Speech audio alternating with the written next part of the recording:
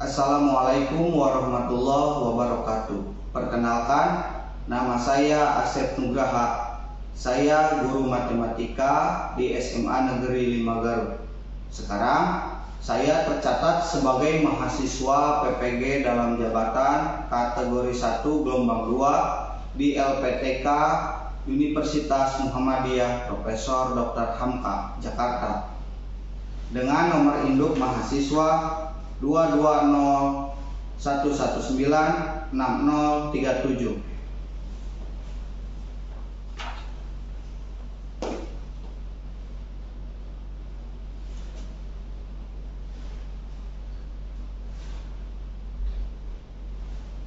Hari ini Selasa tanggal 13 Juni 2023 saya akan melaksanakan uji kinerja dengan melaksanakan praktik pembelajaran dengan materi menentukan jarak titik ke garis dalam dimensi 3. Berikut adalah kartu UKM PPG milik saya.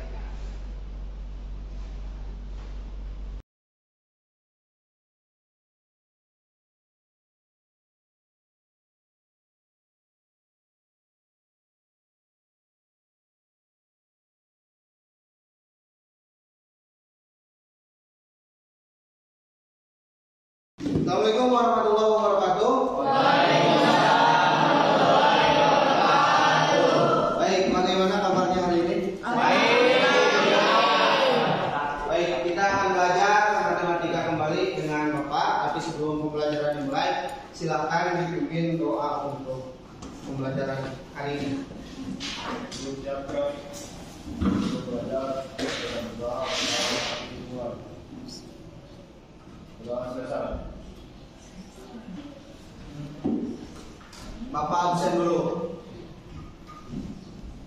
Supaya lebih cepat, Bapak lihat di agenda.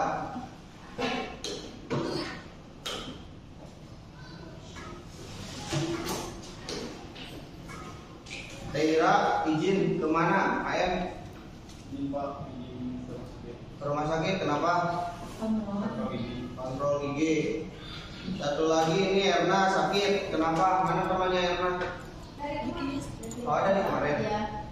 Baik, sebelum pembelajaran dimulai, uh, untuk mengecek kesiapan gitu ya, Bapak minta tolong periksa kerapihan bangkunya, barangkali ada sampah, uh, duduknya dirapikan gitu ya biar lebih nyaman. Ya, sudah siap berarti belajar kita hari ini? Ah, kurang kompak. Siap belajar hari ini? Baik. Hari ini kita akan belajar jarak titik ke garis Ini dimensi ini sudah ada. Tapi sebelum ke sana, seperti biasa, Bapak akan mengadakan kuis dulu, gitu ya. Kuis dulu untuk mengetahui kemampuan capaian materi sebelumnya. Jangan sampai hari ini kita belajar hal baru, tapi yang kemarin kita lupa untuk mengingatkan kita main kuis. Silakan dibuka HP-nya masing-masing, lalu ketikkan alamat ini biasa seperti pertemuan sebelumnya, pahut.it. Gitu ya. Seperti biasa nanti ada hadiah. Nah ini game, gamenya ya, game gamenya. Nah itu sudah ada yang bergabung. Ri, Cynthia, Anadia, Reni. Silakan baru 9, 10, 11, 12 14, 16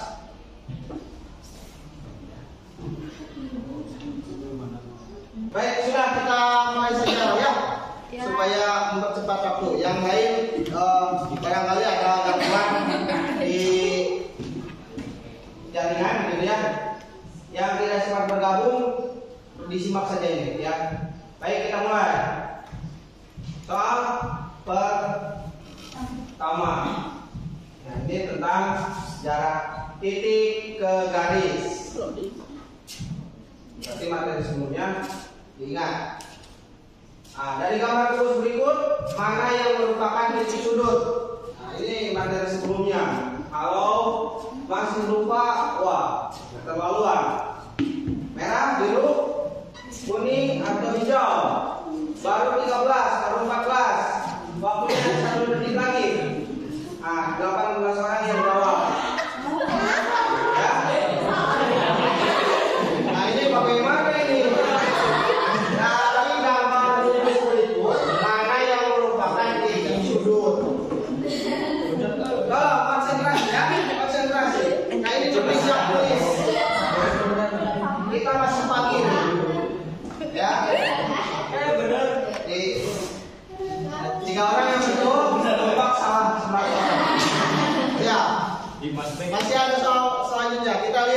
yang yang tiga orang ini berarti masuk tiga besar nih. Dimas. Dimas Husni Dimas. Yeah.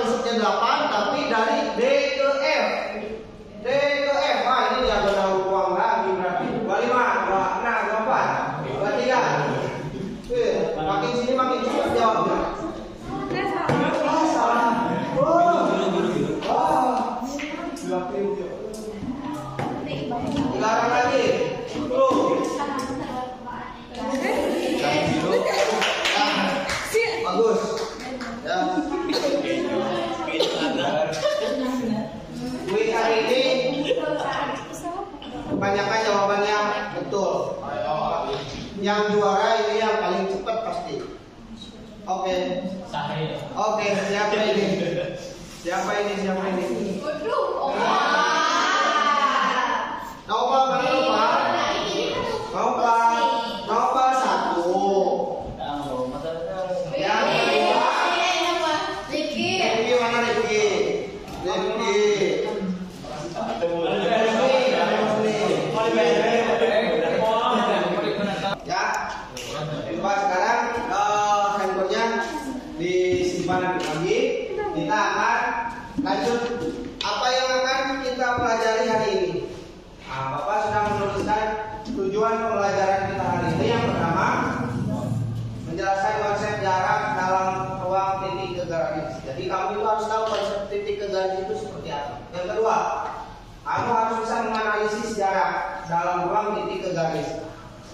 Kalau dikasih masalah, kamu harus bisa menganalisis.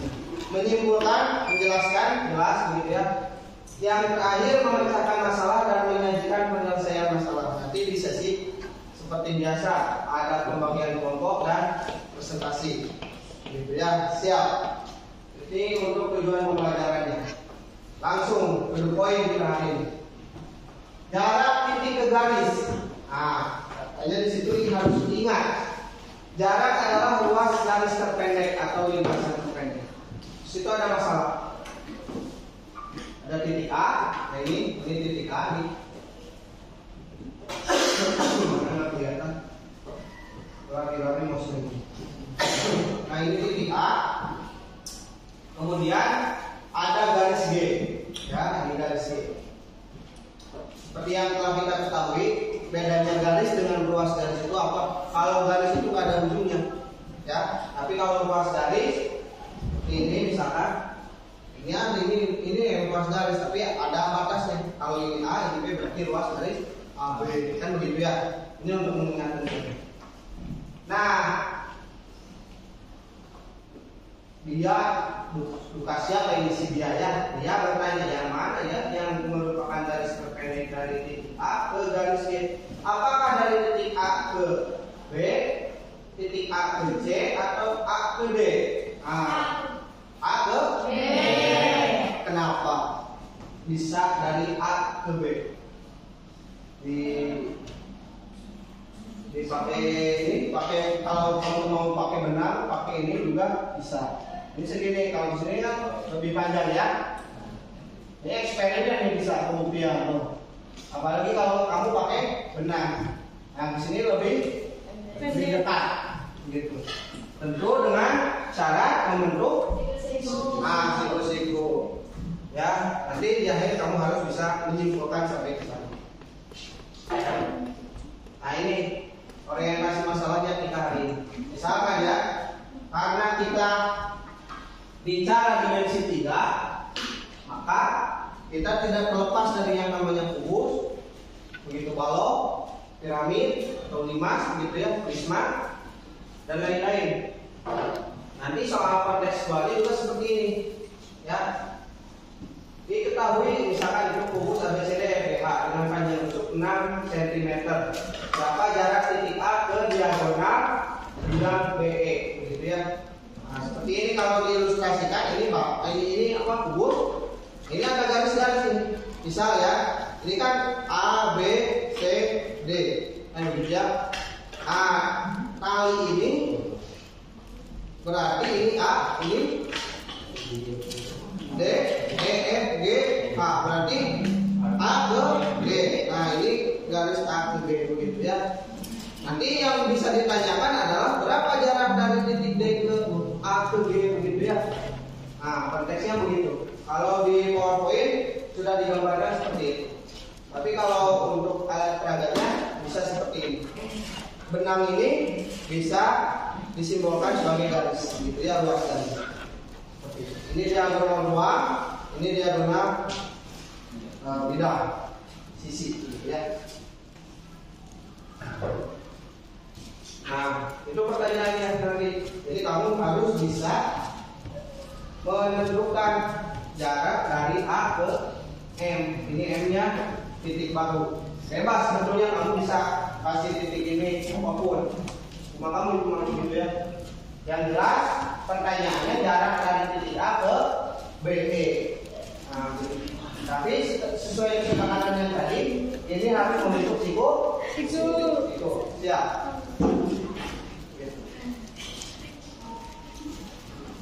Nah termasuk juga yang ini.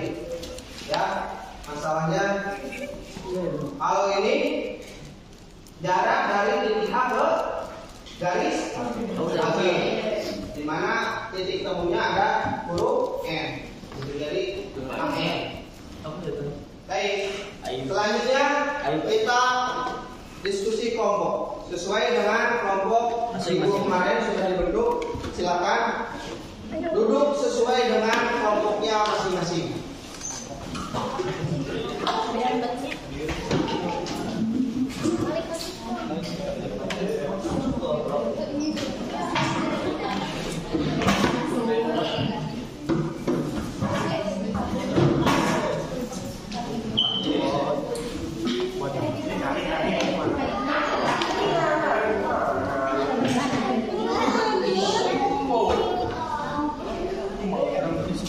Ini kamu berapa ini?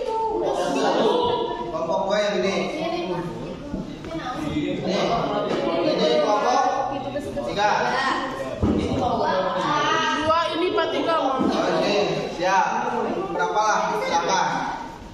Yang ini kelompok pintar. Nah sekarang kita ayo kayak KPD ini ada KPD nya ya. Apa bagikan yang KPD. Jangan lupa kasih nama.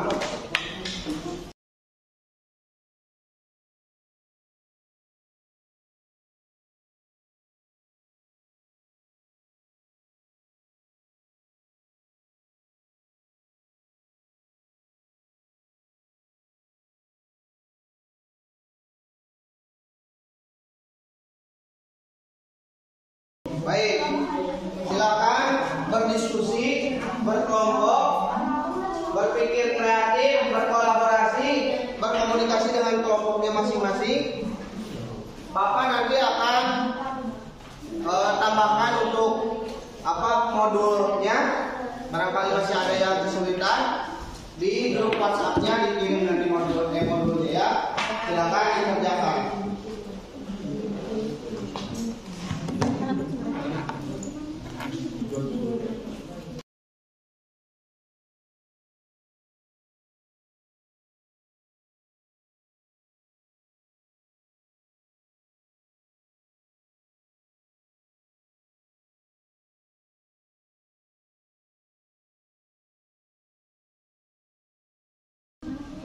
Silakan dilanjutkan.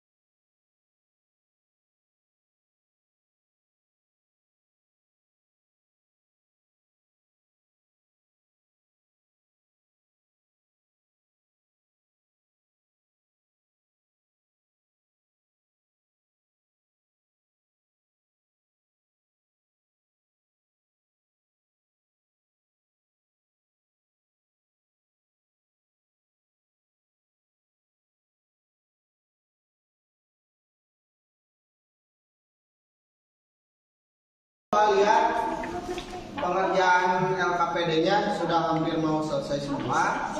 Eh, silakan untuk hasilnya ya kelompok mengirimkan ke grup gitu ya biar nanti pas presentasi bapak tampilkan di depan gitu ya.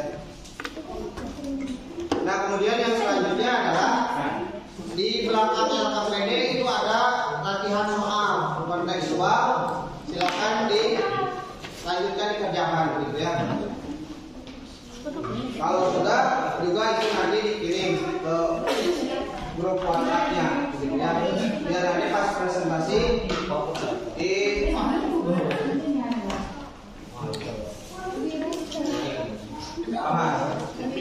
nah ini ya soal kontekstualnya. Kalau di sana tidak ada ilustrasi gambar, kalau di sini ada gambarnya. Ya, jadi masalahnya adalah piramida ini penjelasan. Piramida adalah makam raja Mesir kuno. Kemudian penjelasan selanjutnya adalah piramida Giza di Mesir jelas adalah yang ini adalah piramida terbesar di dunia yang ada di Mesir.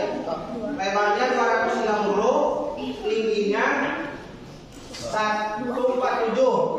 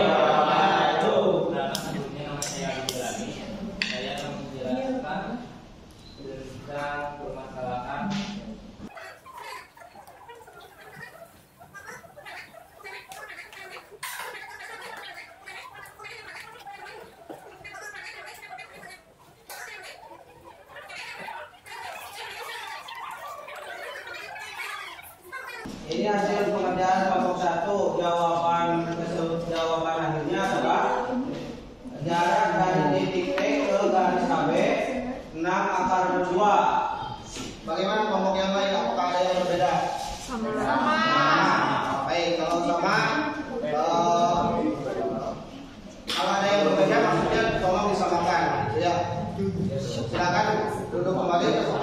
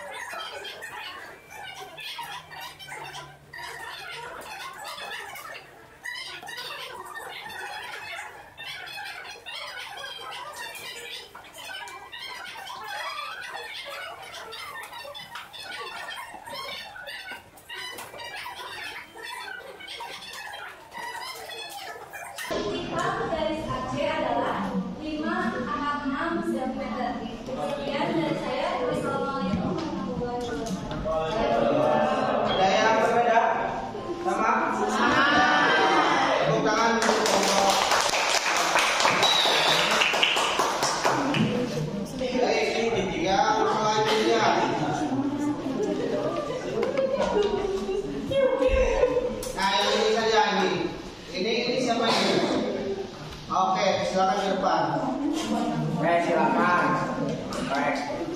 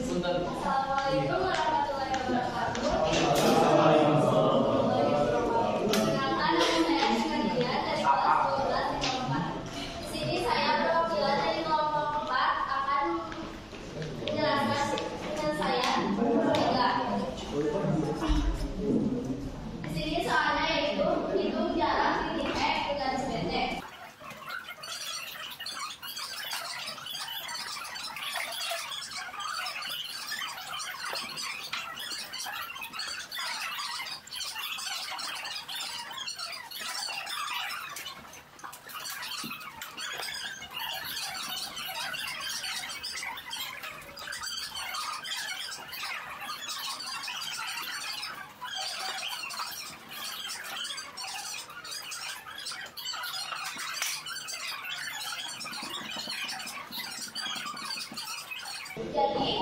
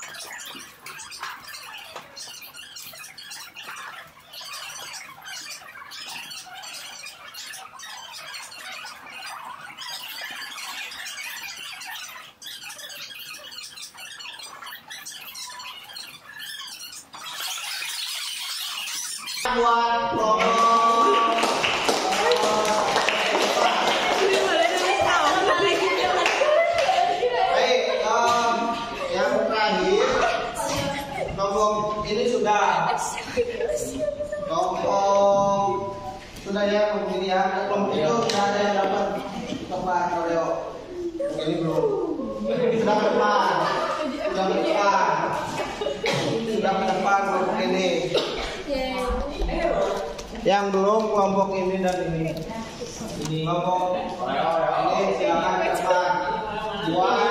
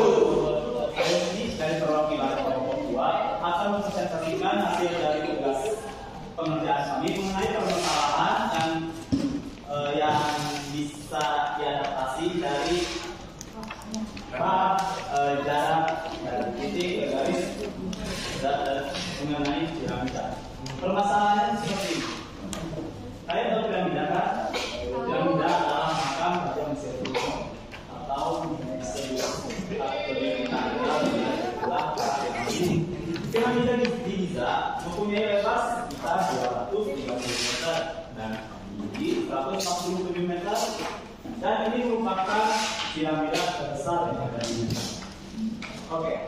Permasalahannya, apabila uh, di tengah-tengah piramida tersebut terdapat mahal, lebih tepatnya kita menggunakan ilustrasi ini, berarti kan uh, di tengah-tengah di sini ada makam. Nah, hitunglah berapa jarak antara A ke tiap ke tiap tiap tiap yang ada pada bentuk piramida tersebut.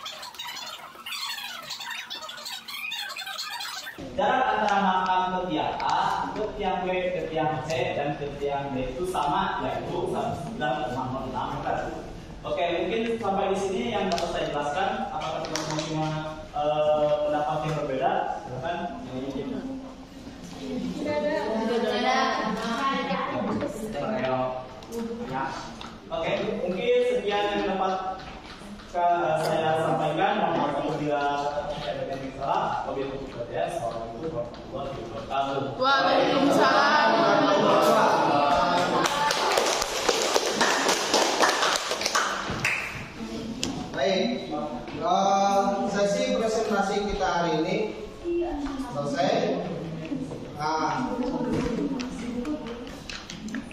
kita ke refleksi dulu gitu ya? Oke. Masalah sudah berdiskusi sudah penyelidikan juga sudah terakhir tadi presentasi juga sudah gitu ya. E, barangkali bapak ingin mengevaluasi pembelajaran kita hari ini dulu sebelum nanti terakhir masuk ke kesimpulan. E, untuk pengerjaan tiap kelompok sudah diwakili sudah eh, betul semua jawabannya, gitu ya. Karena ini memang sudah berdiskusi.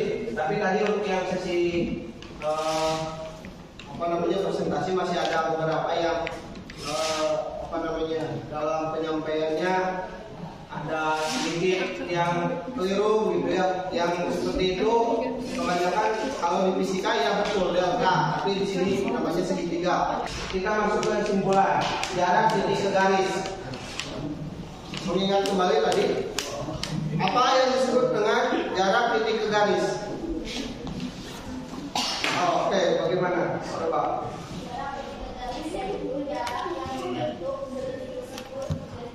Ah, jarak yang bentuk sudut sikit siku dan itu pasti yang kan pendek ya? Baik. Nah ini ya. Jarak titik ke garis adalah ruas garis terpendek. Nah betul.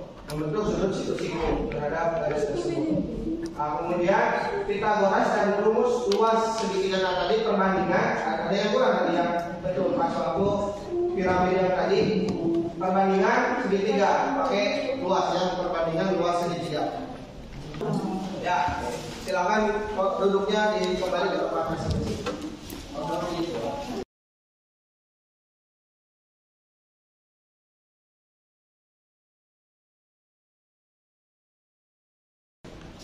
Sesi berkelompok sudah beres. Kita ada tes formatif di akhir. Silakan dibuka, dikerjakan. Waktunya hanya sebentar karena memang cuma dua soal dan itu gampang. Silakan dikerjakan. Waktunya cuma 10 menit.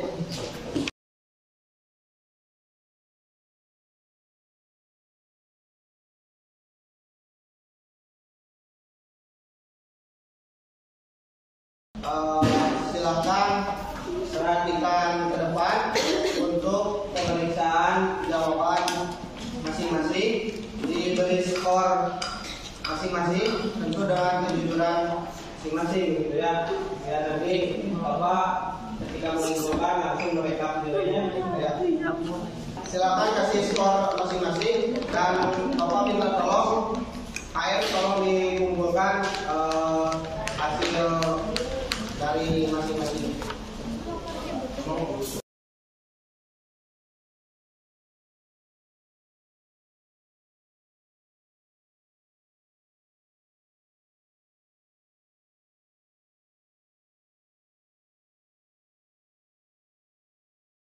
감사합니다.